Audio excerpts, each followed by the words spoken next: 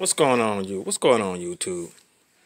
D.lux here with another tutorial for your ass.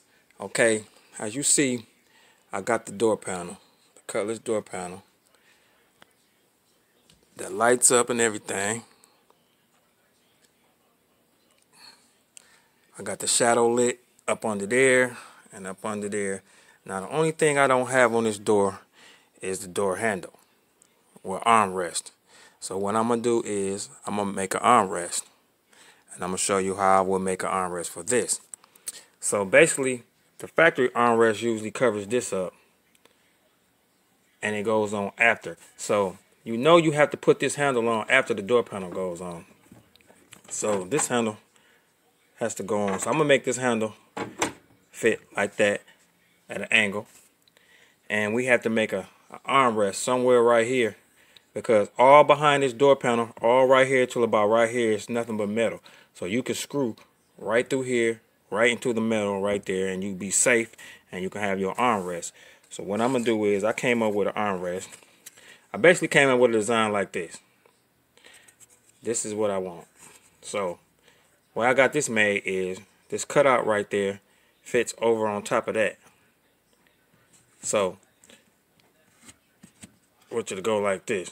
That'll be the the first layer of the armrest. So I want it to come all the way down to about right here and have a place that I can put two screws under there that you won't even see it. It'll be up under there, up under the armrest. So I know that this is a half inch, fits like that, and I want it to go down to right there. So what I do is I stack them. cut another one just like it and I'll stack them up. So I have two of them cut right here. So basically like that. So as you see, it's hard to do with one hand. You see, that's two. So you see, I probably can put two more under there. So what I'm gonna do is I'm gonna cut this bottom one. I'm gonna cut two more like that. So that'll give me a, a, a total of four. So once I cut four of these out, one like this, one like the top one, and three like the bottom one, it should be thick enough to go right on there. And I glue them all together. And then I can go on with a file, or go in with a, a disc sander, or go on with the saw, and shape it the way I want to shape it. So basically what I'm going to do is I'm going to go on the router. I'm going to make three more of these. So this is a scrap. I make all this shit with scrap pieces I have. This is scrap. So I'm going to router. I'm going to make three more of these. And I'm going to cut it back on. I'm going to show you what it looks like. Okay, what I have here is three pieces for each door handle. As you can see, three pieces. The top, the middle, the bottom. Top, middle, the bottom. So I'm going to glue them together. I sprayed some glue on there, you can see. I'm going to glue these together. And then I'm going to air nail it together so it won't come apart. So watch and learn. Okay, now you see I got the handle made. It's three layers. Cut the groove out. Now I got to cut this section out right here. So when you got it on the car, you can have somewhere to put your fingers at so you can grab it. So I'm to cut that out. But as you see, in this little edge, I got to sand that little edge down. See it? But otherwise it's rounded, as you can tell. So I'm to sand it. I'm to cut this out right here and make it so you can put your fingers down in there. And I'll show you how it looks on the car right now. Okay so here's the door. So the handle I'm making fits right over this groove right here and goes just like that. So now I have to cut that out right here. So you'll be able to put your fingers in there and pull it. But it's going to fit on there just like that. And once I wrap it in the red color, it's going to be dope. Stay tuned. I'm going to cut this out. Hey, I made my cuts. As you can see, I'm a jigsaw ninja. You see that cut? You see how that cut is? So check it out now. So now it fits on there like that. And you got the groove down in there. As you can put your hand in there like that and pull it. And now you got a door handle player. That's how you handle your biz. Get it? You handle your business. But check it out. I'm about to go get these, go to Home Depot and get these uh these brackets I need to go on the bottom. Down there to hold it on. And then I'm gonna come back. But I might take you on this ride with me.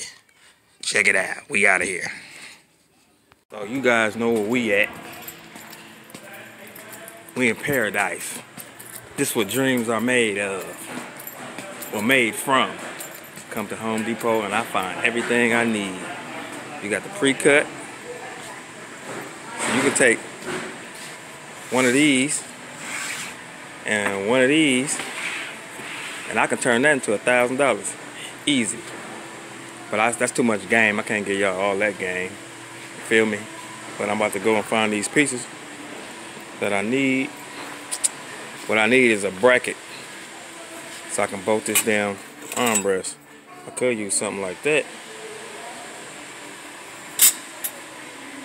Uh, I just need like a kind of like an L bracket. So I'm gonna find something. See I could use something like that too. So what I need something that's gonna go behind this. So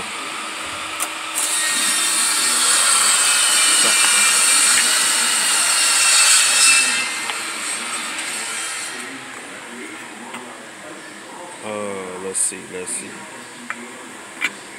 let's see. You got to go like this. So, if I did something like this, nope, that ain't right.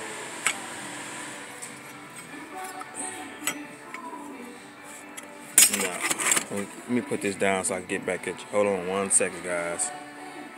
That didn't work out, so we had to switch. So what I need to find is, see, all the brackets that you need is right here.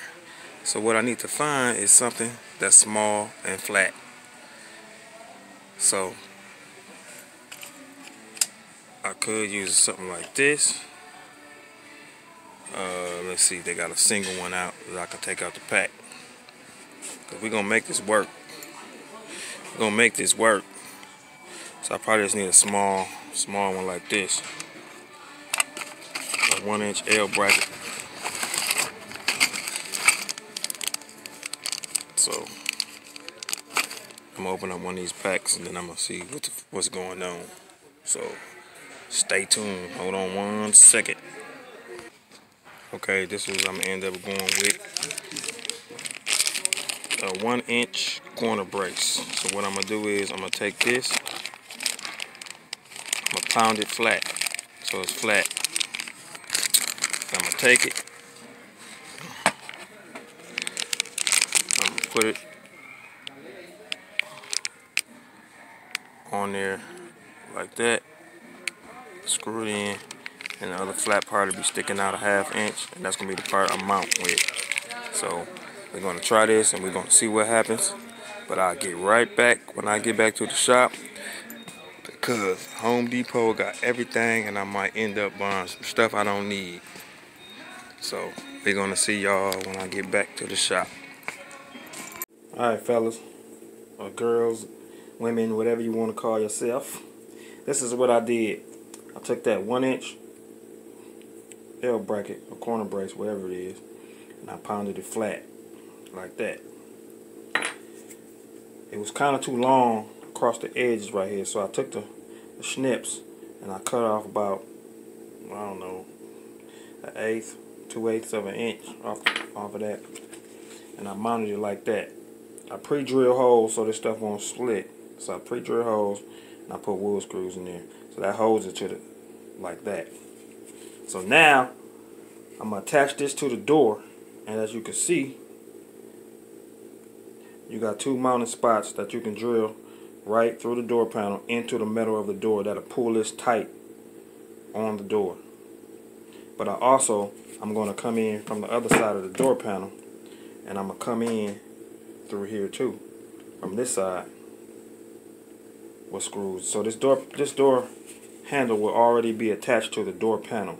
But to make it more stronger, we're going to come in from the bottom right here and drill straight into the metal of the door through the door panel. So that'll give it a strong base so you can pull, he can slam, and whatever it takes. So I'm going to do that. But first, before I even do all that, I'm about to wrap these handles. Because I'm not going to keep taking this door panel off. It got wires in it and it takes too long. So I'm going to wrap both of these panels. I mean, both of these uh, armrests.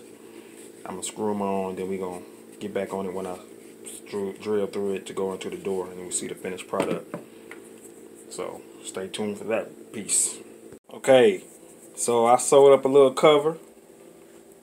I got the glue on. I got it glued to the, the door handle, as you can see. Two-toned it. Because I'm working with scraps, what's, what's left of this gold color.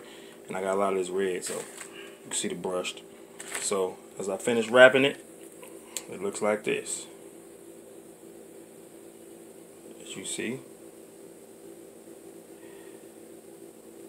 and there's the brackets at the bottom down there that the screws go through the other screws come through this side I'm going to trim it up heat the edges so I know it won't come loose and then I'm going to test fit it in the car. I think this is the passenger side so I'm going to test fit it once I get the other one done. So you see it's coming. Alright there you go. That's how it looks when it's mounted on the door.